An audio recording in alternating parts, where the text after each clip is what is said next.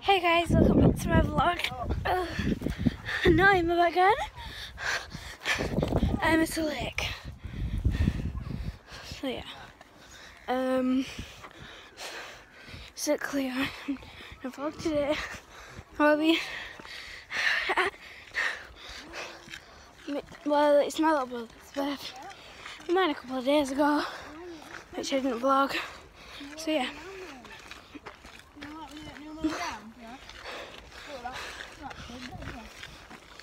still put the vibe you